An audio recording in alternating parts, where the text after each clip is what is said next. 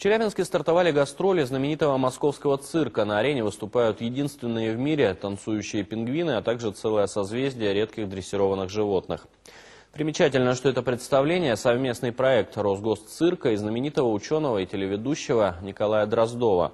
Вчера он специально приехал на премьеру и нашел время, чтобы побеседовать с моим коллегой Вячеславом Холмсом.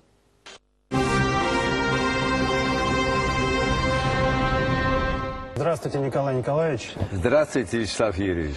Большая честь, вот реально большая честь для телевизионщика. Да ладно, общаться- не надо, да не а надо. я настаиваю на том, что большая честь общаться с такой Да. величиной в Да нашей надо, телевизионной перестань. сфере, как вы. Но тем не менее, Николай Николаевич, вы приехали в Челябинск презентовать цирк. Почему? Ну как, ну цирк, вообще, вы же любите цирк? Обожаю. Я думаю, нет ни одного человека нормального, кто бы спросить, любишь ли ты цирк, он начал бы сомневаться. Ну, все мы с детства любим цирк. И до того, как я попал там в Африку или куда-нибудь в Индонезию, я увидел э, и крокодилов, и э, шимпанзе, и слонов в цирке, конечно, правда? Буквально в пять лет уже повели в цирк нас всех, правда? Из пяти лет мы видим цирковых животных. И для меня, как для биолога, для зоолога, для любителей животных, ну, цирковые животные – это ну, самые близкие друзья. Именно с ними можно подружиться. Почему же вы приехали посмотреть и полюбить цирк в Челябинск?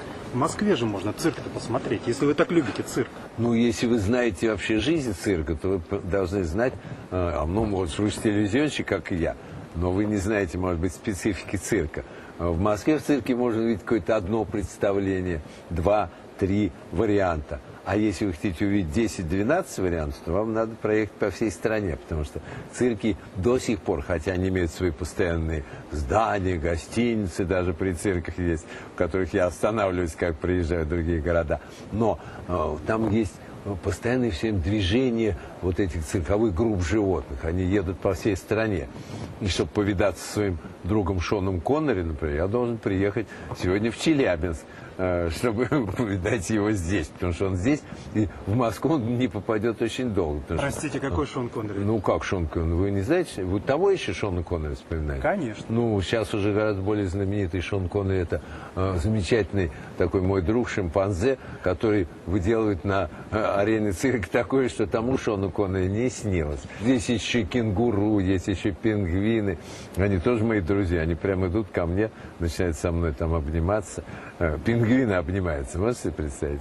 Но тем не менее, мне кажется, вы немножко хитрите, потому что по нашим данным, вы не просто здесь зритель благодарный или человек, который решил встретиться с Шоном Коннери. Вы еще здесь, скажем так, советник. Советник этого цирка. А что вы видите и какие советы вы сегодня можете цирку дать? Вот, вот это тоже. Ну, знаете, не учи ученого, как известный такой. То есть я могу э, скорее поучиться у этих людей. Но хотя они просто, может быть, из уважения возрасту и, э, так сказать, научным званиям, они всегда говорят, ну, мы ценим ваши советы. Знаете, но это, мне кажется, они делают и с такой из любезности. Но они могут, конечно, меня спросить примерно о каком пингвине, где он в природе живет и как ему там я мог наблюдать, например, пингвинов или шимпанзе в природе, чего иногда артисты цирка не имели возможности сделать, правда, за свои долгие годы путешествий.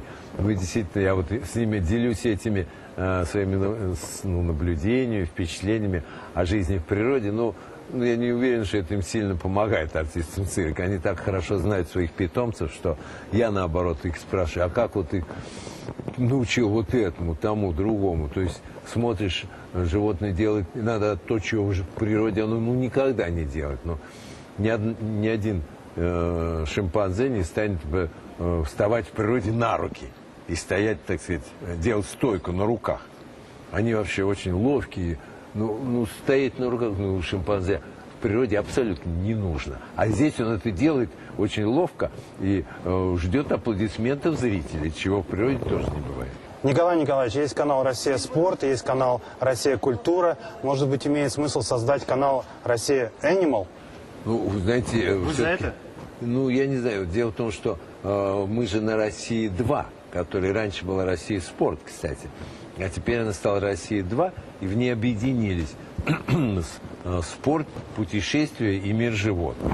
И там на этом канале можете увидеть и Discovery, и э, э, наша, вот, наша планета, моя планета, э, целый большой раздел «Моя планета», который, э, ну, как бы путешествие по природе, по людям, по городам всего Но мира. если бы сделать целый канал, посвященный животным, как вы думаете, хватило бы информации в России, в том числе через цирки, которые вы видели? Нет, ну если включать еще и цирки, и зоопарки, конечно, хватило бы. Сам- Редактором стали бы? Э, ни в коем случае. Почему? Да, ну это...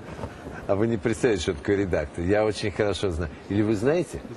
Вы знаете, что такое редактор. Ну так что же мне так хотите такое, такое подложить? Ну, понимаете, я готов ездить, быть ведущим, рассказывать, быть, так сказать, ну, специалистом, э, как специалист выступать. Но редактор телевидения – это особая профессия. Я вот никогда в их работу не вмешиваюсь и э, занимаюсь животными в пределах этих передач. Рассказываю о них, э, показываю их, езжу ним в гости, к этим животным, в цирк, в зоопарк, в дикую природу. Но учить, например, людей опытных и профессиональных, заканчивающих кафедру телевидения, кафедры специальный институт повышения квалификации телевизионных работников. Я ничего этого не делал. Я зоолог, биолог. Понимаете. Мне говорить, как отредактировать там передачу или как ее поставить, как ее... И это не мое дело. Последний Не вопрос. дай бог. В Челябинске презентовали эту программу. Следующий город, где вы будете презентовать? Ну, так, нас, насколько я знаю, в Тюмени. Тюмень, это, конечно, тоже отсюда совсем недалеко. Так, за полдня доедем, правда? Спасибо, Николай Николаевич.